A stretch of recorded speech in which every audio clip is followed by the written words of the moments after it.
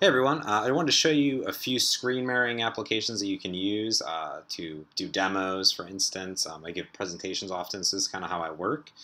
Um, now I'm first going to start with Android. and There's an application that I installed called Mobizen. So if I uh, show you this, uh, you can read the full blog post for this. Uh, but if you go to uh, mobizen.com, is where you register and you download their application. And you download the PC version, that's the important part. They have a web version, but I don't really like it. the the Mobizen PC version is very nice, and you install the app from the Google Play Store, and you're good to go. Uh, so now what I'll do is I'll launch this application here. Uh, and I've already installed the latest version. It's really nice. Uh, they've integrated the two together.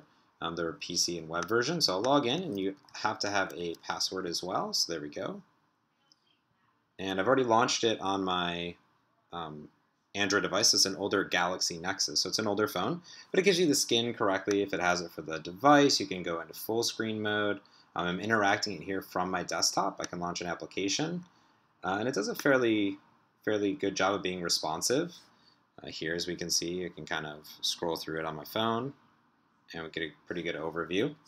Uh, and that's nice. You can also go into um, the settings, we can drop this down, and there's options such as screen recording, recording, snapshotting, and a bunch of different settings as well, which is very nice.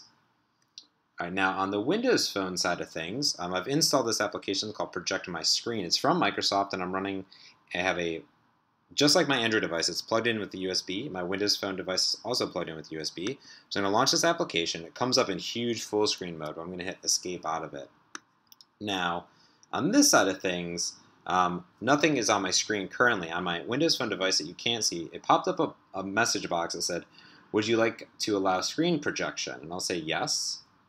And it'll automatically show my screen. I can also, again, interact with it right here um, and launch applications either from the phone or from the desktop, which is really nice. Now, I'm inside of a VM on a Mac. Uh, so if I was on a normal PC, just a standalone PC, I could launch an app called Reflector, and it would go ahead and use uh, um, for iOS do the reflection over here inside of the actual PC. Now, since I'm on the Mac um, and inside of VMware, it's not going to work correctly. Uh, but what I can do is actually launch Reflector app on my Mac. So if we look at my top bar, I have a, um, I can do a preferences. I can pull up this message box here. So I'm going to reflect my iOS device to my actual Mac, but it's going to run on top of VMware, so it's not really a problem, right? So I'm going to go ahead and launch this here. And you can give it a password and do a bunch of other things as well. We'll go ahead and close this here. All right, so here we go. So you can see I'm mirroring to my MacBook Pro. I'll move this over here, and I'll close it down. Now, if I right-click on it, if I go up to my device, I can change the different frames. This is on an iPod Touch currently. I can start recording, so I can actually record the screen. I can force different modes. I can scale it um, as well. But this gives me a really nice one-to-one -one almost of the device with all the different properties on it. I can launch into Rdio or something like that. Um, and it's very convenient to actually go through and see everything that's going on here. So I guess it gives me a nice one-to-one. -one. And at the same time, gives me all of the devices on my screen projecting at the same time.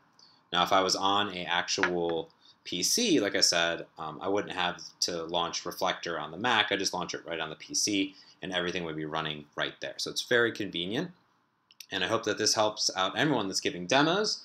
Uh, for giving a presentation, uh, this is a great way to screen mirror and debug on the actual devices and show off the power that's going to be the best over a simulator or emulator.